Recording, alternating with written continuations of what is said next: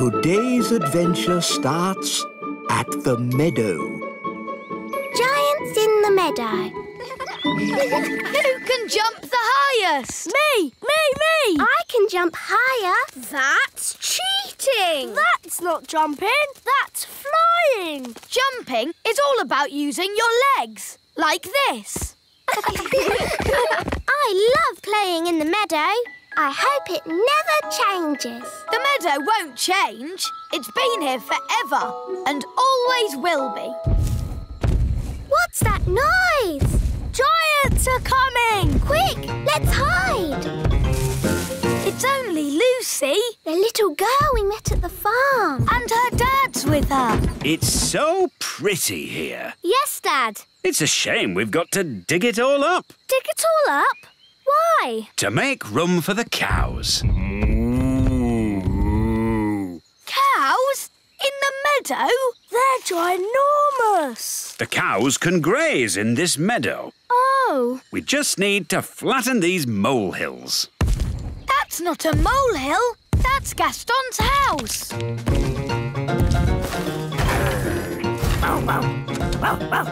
Gaston, they're going to flatten your house. Oh. Don't worry, Gaston. You can come and live with me in the little castle. I'll put the cowshed over there. Oh no! The cowshed will be right on top of my little castle. Don't worry, Holly. You and Gaston can come and stay with me in the great elf tree. And I'll put the cow manure over by those trees. oh, that's where the elf tree is. What's manure? Cow poo! Oh, maybe I won't stay at the great elf tree. Thanks anyway, Ben. I'd better start building the fence. Psst! Lucy! Lucy! Oh, hello, Ben. Hello, Holly. Your dad is putting his cows right where we live. Yes, isn't it terrible? You have to tell him to stop. OK, I'll tell him that elves and fairies live here. No, no! Big people must never know we live here. But I'm a big person, and I know. You're special. What can we do then? Let's ask the wise old elf. He'll know what to do. He's old. He's wise. And he's an elf. What was that? Shush, we've got to be quiet. OK, let's go and tell the wise old elf about the cows. Cows in the meadow? We'll have to tell the farmer that he can't put his cows here. No, no. We must never talk to big people. Hello, wise old elf. Ah, big people. Nice to see you again. Oh, hello, Lucy. I thought you said we should never talk to big people. Well, that's apart from Lucy, of course. Lucy is nice. But we must never talk to grown-up big people. You can't trust them. Oh, no. Don't worry. I'll sort it out. What are you going to do? I'll tell the king to sort it out. Cows? Yes, your majesty. The farmer is going to put cows in the meadow. Right where Gaston's house is. Oh, well, that's not so terrible. And he's going to put a load of cow poo by the great elf tree. Again, not so bad. You'll get used to the smell. And he's going to build a cowshed on top of the little castle. What? Who is this farmer? I'll sort him out. How big is he? Is he as tall as me? He's my dad. Yeah, a big person. And her dad is even bigger. Yes, well, Nanny Plum, come up with a plan. I already have a plan, Your Majesty. Oh, well done. I'll turn him into a frog. You'll turn my dad into a frog? Cool. That's your plan? It's like they always say. To get your own way, turn them into a frog. That doesn't even rhyme. It's a silly plan. No, it's not. Yes, it is. And I absolutely forbid you to... As I was saying, to get your own way, turn them into a frog. Oh, well done, Nanny Plum. The plan does work. Carry on. Right you are, Your Majesty. even think about doing anything so... Oh, where did Nanny go? He's almost finished the fence. Frog time. What? Problem solved. Frogs can't build fences. Um, will my dad be a frog forever? Oh, no. It'll wear off after a while and he'll be back to his old self again. But won't he just start building the fence again? Oh, I never thought of that. Uh-oh. I think the spell is wearing off. Quick, hide! Huh? Where was I? Oh, yes, I was building a fence. It's been ages. How long does it take to turn someone into a frog? Hmm. Maybe I should go and see how Nanny Plum is doing. Good idea. Off you go then. There's a good elf. So, how is the brilliant plan going? I turned the farmer into a frog. Then he turned back again. And he's still building the fence. No worries. I'll turn him into a frog again. Frog time! No, Nanny. This plan is silly. All right, smarty pants. What's your plan then? Maybe Lucy's mum can stop the farmer. But you said we can't talk to grown-up big people. We can't, but Lucy can. Yes, I could ask my mum to stop Dad. Come on. The important thing is, Lucy, not to mention elves and fairies. OK, wise old elf. Mummy, Mummy! Hello, Lucy. I thought you were helping Dad today. I was, but... But what? Oh, Mummy, can't Dad put the cows somewhere else? Lucy, whatever has got you so upset? It's just that my friends, the elves and fairies, live there. Oh, no! She's telling her everything. Elves and fairies. How lovely. No, Mum, it's true. Right, leave it to me. There really are elves and fairies. I know there are, darling. Do you? Frog time. Oh, hello, Nanny Plum. Uh, hello? Mummy, how do you know Nanny Plum's name? Because I remember her from when I was a little girl. So you know all about the elves and fairies? Yes, I used to play with them when I was little. Sally! Now I remember you. It was years ago. Yes, there was you and naughty Prince Thistle. King Thistle now. Nanny Plum, we must never talk to big grown-ups. Oh, hello, wise old elf. Nice to see you again. Oh, hello, Sally. Did you know the wise old elf when he was very young? No, he's always been old. And wise. You haven't changed a bit. Oh, thank you. So it's the little kingdom where Dad's putting the cows. Yes! Then we must stop him. Come on, everyone.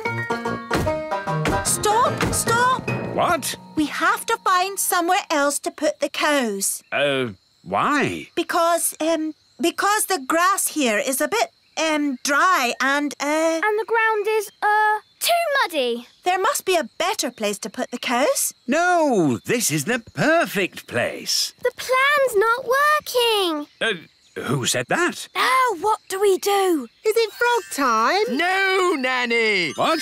Frog time. Ah! Don't let the farmer know we're here. OK, clever clogs, what's your plan then? Um, hello? We'll be with you in a moment.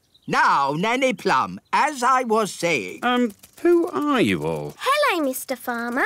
We're elves and fairies. And we live here, in the meadow. Elves and fairies living in the meadow? Yes! So we can't put the cows here, darling. Well, of course not. I don't want to knock anyone's house down. And one more thing, Dad. You must not tell any of your friends that you've seen elves and fairies. Hmm, don't worry. There is no way that I will tell any of my friends that I've been seeing elves and fairies. Thank you, Dad. good news, Your Majesty.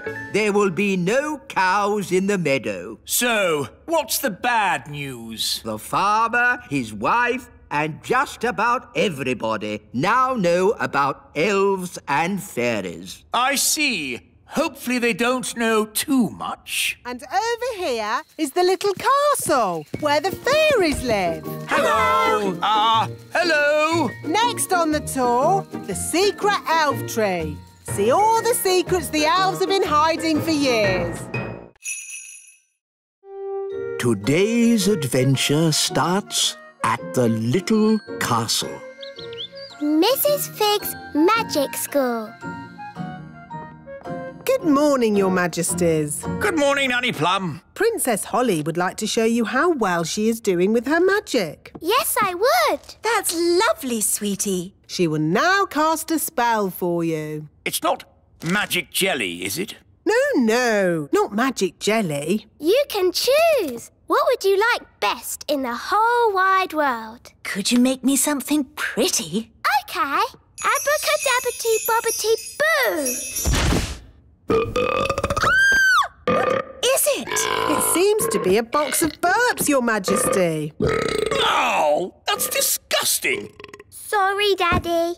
I think it's about time Holly had some proper magic lessons. Very good, Your Majesty. I'll just fetch my wand. No, Nanny Plum.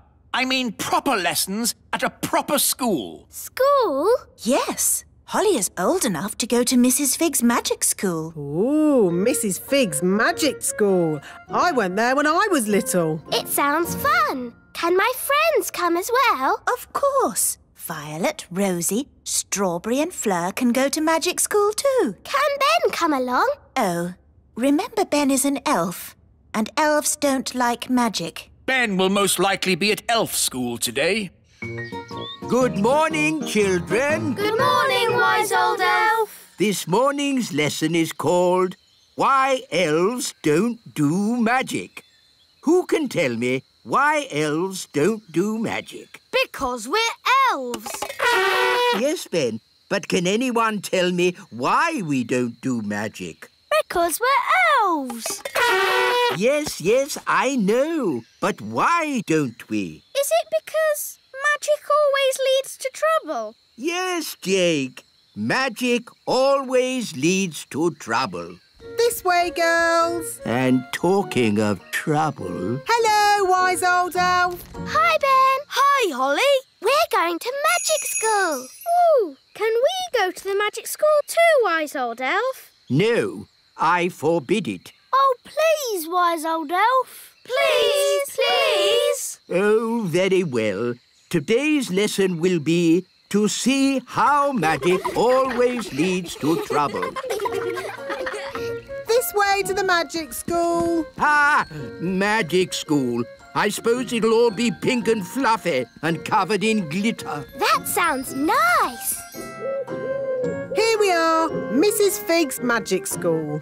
Oh, what a sensible building. It could have been built by an elf. I know. It's a bit ugly, isn't it? It's very sensible. Now, girls and boys, you'll soon be meeting Mrs. Fig. She taught me everything I know. Ooh. Mrs. Fig liked me. I used to call her Old Figgy. Good morning, children. Morning, old Figgy. My name is Mrs. Fig. Morning, Mrs. Fig. That's better. Hello, Figgy. Remember me? Ah, Nanny Plum. How could I forget? I told you I was her best pupil. In all my years of teaching, Nanny Plum, I never had another pupil like you. Thank you. And I am the wise old elf. Elves? At magic school? Yes, we're here to see the magic all go wrong. Nothing will go wrong at Mrs. Fig's magic school. Now, who do we have here? I'm Princess Holly. Princess Holly, what do you and your little friends know about magic? Oh, I've taught them lots of things. Let's say you know nothing. Now, what's the most important rule of magic? Don't do magic. Correct.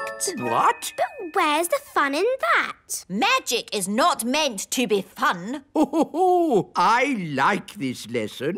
Magic is only meant to be used for sensible things by sensible people. Now, pretend you are in the kitchen doing the washing up. Are you going to wash the dirty dishes using magic? Yes. Stop! That's just the sort of thing you can do by hand. What? That's just plain wrong. But If you come across a particularly stubborn stain on a saucepan, then perhaps you could Use magic. leave it to soak overnight. Why not just magic the whole lot clean and get on with something fun? I am the teacher, Nanny Plum. Sorry, Figgy. And now for the magic lesson. Hooray! First, we have to warm up. Let's start with a little jog. No, not the jogging. Outside, chop chop, run around, everyone. What does running have to do with magic? Nothing. It builds character. I don't need any more character, thank you.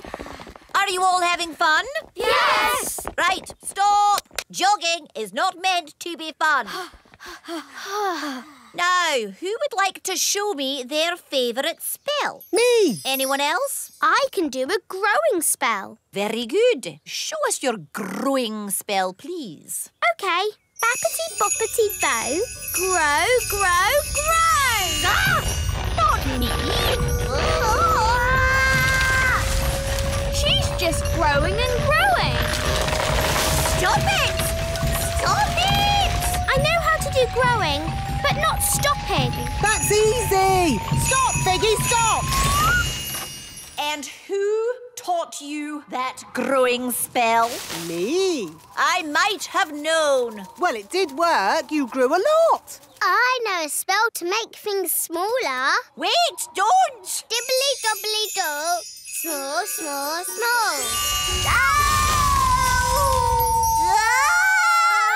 Mrs. Fig is still shrinking. Help! Help! She's getting teenier and teenier. She's never going to stop shrinking. Help! Help!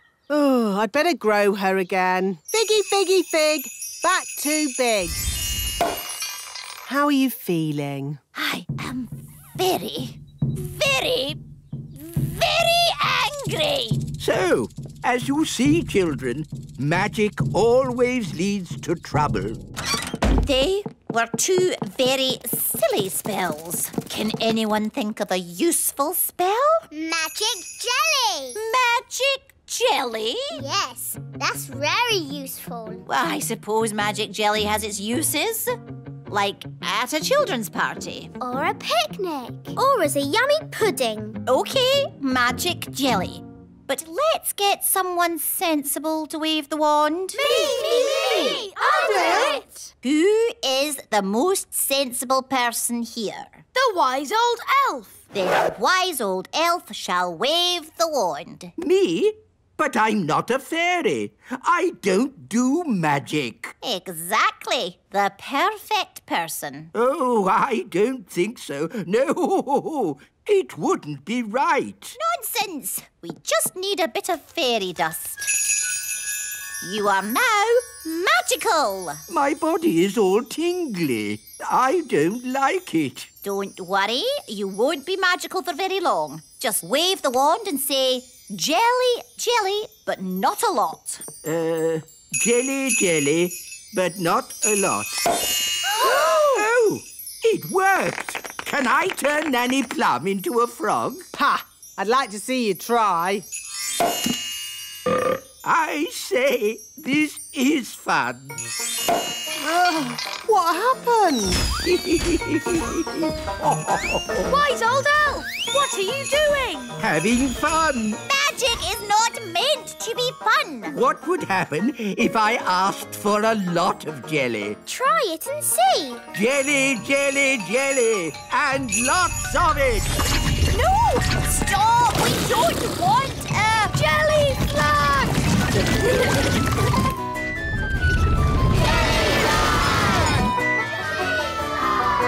Ah! Jelly fly! Nanny Plum! It wasn't me. It was him. That's ridiculous. Elves don't do magic. Actually, Your Majesty, it was the wise old elf. Even old Figgy telling tales now. It's true. The wise old elf did it. Oh, dear. I believe I did do the spell. Fancy that!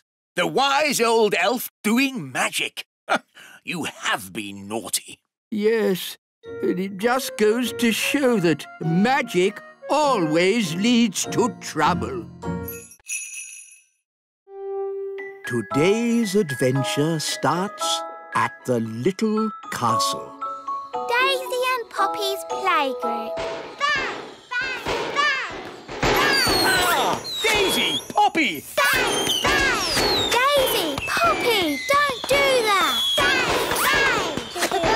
What's all the noise? Mummy, the twins are being naughty. Shouldn't they be at playgroup?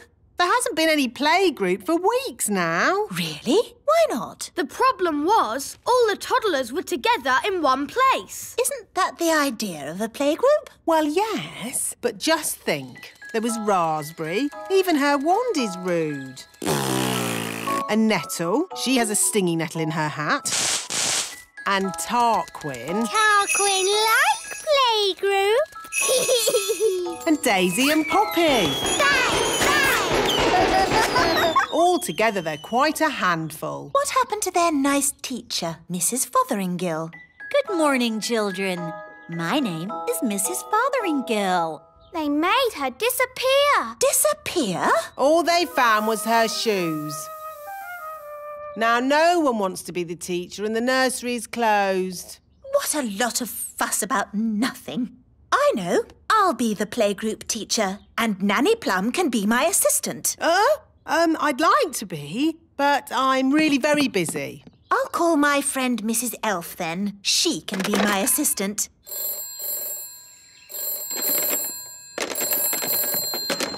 Hello, Mrs. Elf speaking. Hello, it's Queen Thistle. Oh, Your Majesty. I wonder if you'd be interested in a new job. A job? Yes. You'd be working with me That would be an honour, Queen Thistle. as assistant teacher at the playgroup. Hello? Hello? Oh, the phone must be broken. Still, she sounds very keen. I'll go round and fetch her.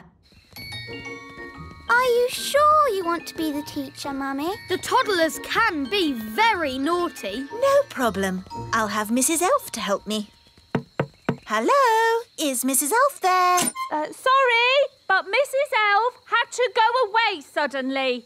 She is not here. Oh, hello, Mum. Oh, hello. I just got back. Perfect. Daisy and Poppy are so pleased you're going to help at playgroup. Well, as long as it's just Daisy and Poppy. oh no, it will be all their friends as well. Lovely. Oh, it's locked. What a shame. No playgroup. Don't worry, Mrs. Elf. I have the key. Lovely. A quick tidy, and we'll soon have it shipshape. Oh, look! Mrs. Fotheringill's shoes. Where did she go? No one knows. She just disappeared. Come along. The toddlers will be here in a minute. We heard playgroups reopening. We didn't quite believe it, though. So, what poor person is the new teacher? Ah, me, actually. And I'm the assistant teacher. Tarquin's been really missing, playgroup. Tarquin like playgroup. So is Raspberry. And Nettle. Come in, children. Oh, she stung me. Hello, I'm your new nursery teacher, and this is my assistant, Mrs. Oh, She's hiding under the desk. Uh, hello, children. I'm Mrs. Elf. relax, Mrs. Elf. There's nothing to worry about with me in charge. Now, children, let's. They've made the Queen disappear. All they've left is her panties. Children, what have you done with the Queen? Gone. All gone. Hello? Oh, Queen Thistle. The toddlers have magicked me somewhere, but I'll be back as soon as I've worked out where I am. You'll have to take the class until I get back. Oh, okay. Bye. Mrs. Elf, you're the teacher now. Yes. Don't panic, Mrs. Elf. You can do this. You're in charge. Uh, maybe we should take away their wands. Good idea, Ben. Right, everyone. We are going to play a game. It's called Hide the wands. We'll take the wands and hide them in this drawer. Good.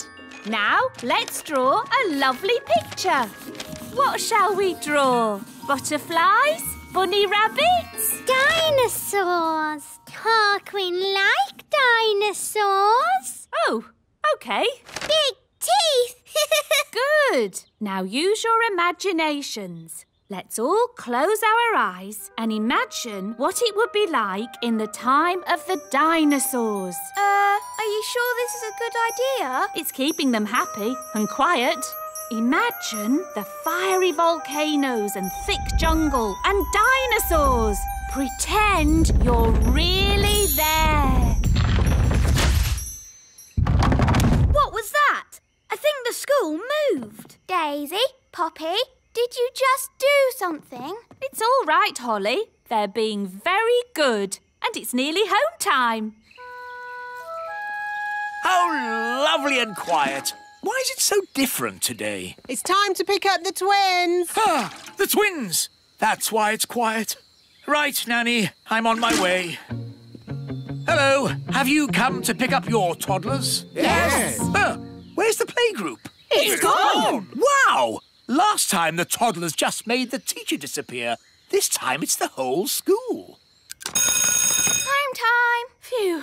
Well done, Mrs. Elf. That wasn't too bad. Apart from the Queen disappearing. Oh, yes, the Queen. See you next time, children. Don't run. Oh, my goodness. Daisy, Poppy, where have you sent us? Dinosaur, dinosaur. Sent us back in time. To the land of the dinosaurs. How are we going to get home again? Let's not panic. There's an answer to everything. OK, we're stuck in the land of the dinosaurs. 65 million years in the past. So, what's the answer? I'm thinking. I have an idea. I might be able to magic the school back. It's worth a try. Abracadabra! The main thing is not to panic. Ah, the school's gone. Shall we start panicking now, Mum? Yes. It's the school. Hooray! Welcome back, everybody. Oh, there's no one here. Trapped in the land of the dinosaurs with no way back. Don't worry, there must be an answer. Think, Mrs. Elf, think! What's that? Is it a dinosaur? I'm not sure. It's a cave woman. Shoes, shoes. Wait a minute. It's Mrs. Fotheringill. The lost teacher. I've been stuck here for ages. Thank goodness you finally come to rescue me. Well, we sort of need rescuing ourselves, actually. Oh. If only Mummy was here. Yes, the Queen could magic us home. But the Queen is here. I saw her this morning. Hooray! But she was carried off by one of those pterodactyl things. Leaving just her wand and her cell phone. Mrs. Fotheringill, do you know where the pterodactyls live? They live on Scary Mountain. I could take you there if you want. All right. Come on, children. Hold hands. Stay together. Mrs. Fotheringill, why is it called Scary Mountain? Oh, I see. Look!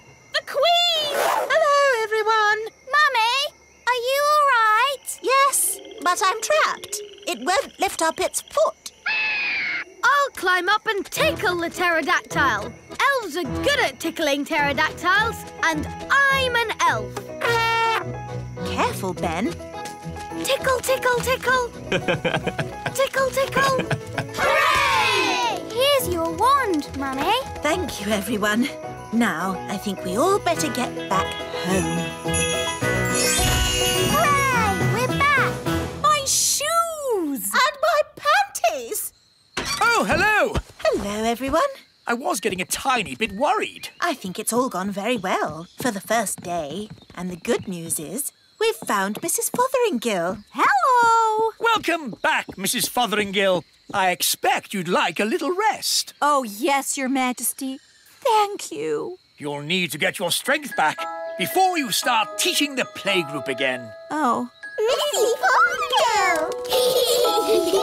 Fotheringill!